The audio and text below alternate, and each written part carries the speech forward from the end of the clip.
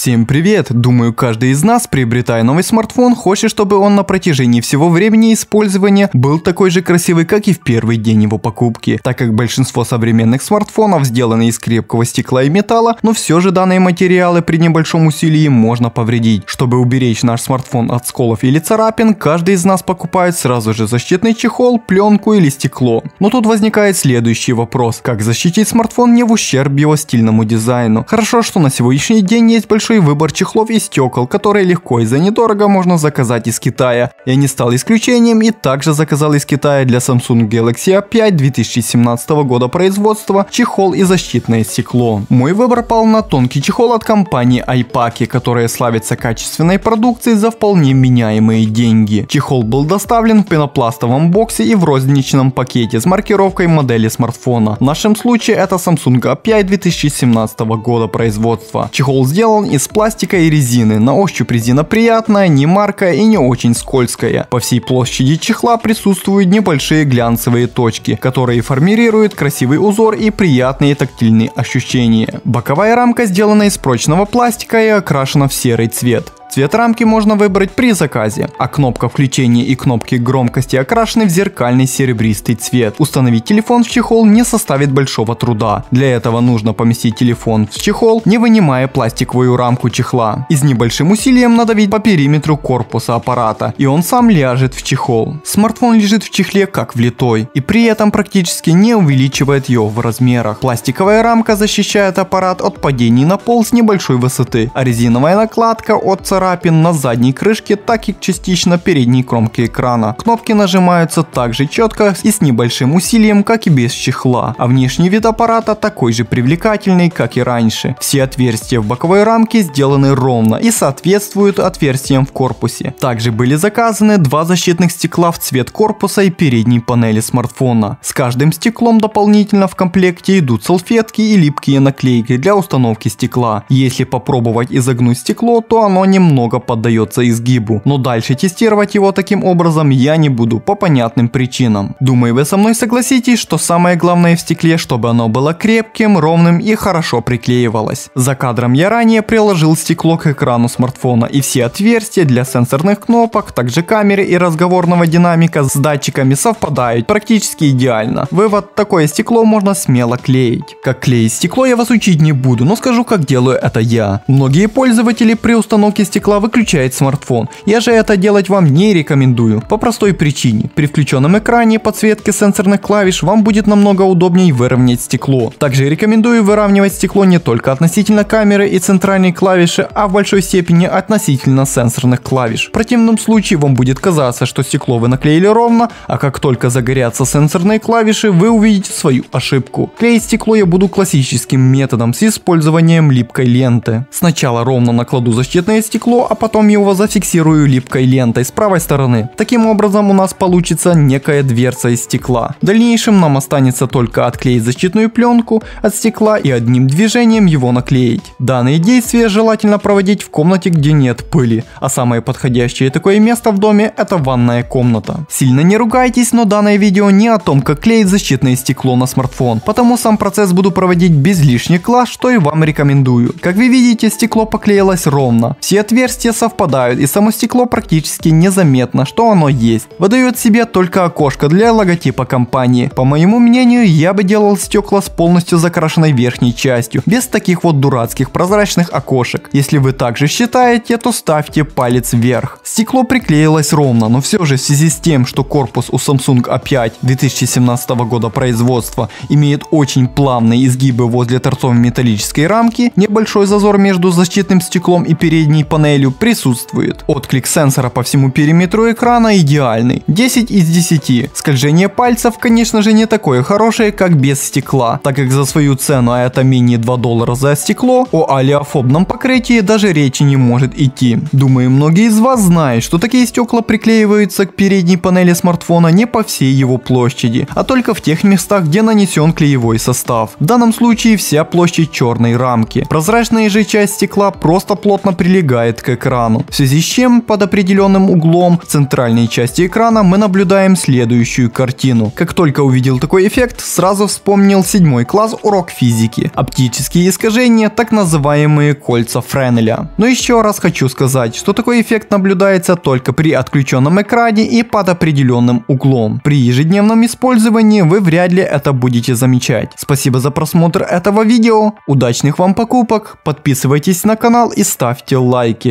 До новых видео, друзья!